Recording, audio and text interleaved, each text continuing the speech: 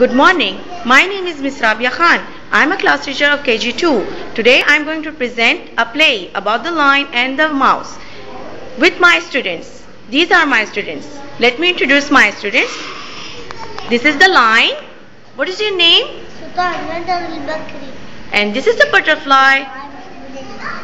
And this is the mouse.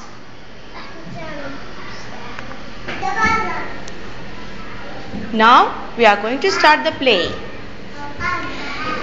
It's hot and it's sunny this summer's day. Deep in the jungle, the animals say, Here comes the lion, the king of this land. He is big, he is strong, and proudly he stands.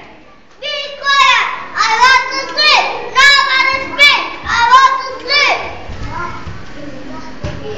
King Lion lies down under the trees, and everyone's quiet, even the bees.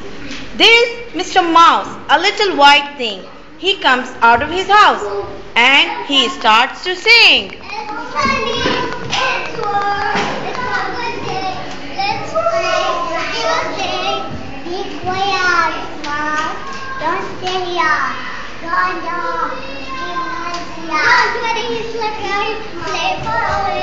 So away he goes where he cannot see.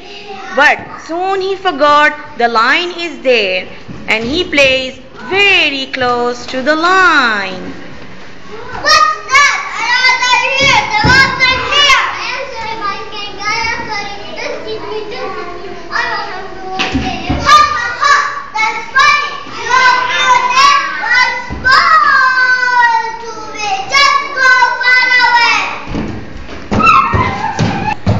A long time later, on another hot day, a noise much greater, the mouse hear.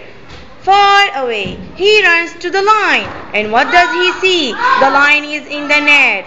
He is hanging under the tree. The lion is sad. He roars and he cries. This is so bad. There are tears in his eyes. So he starts to bite the ropes of the net. Sultan.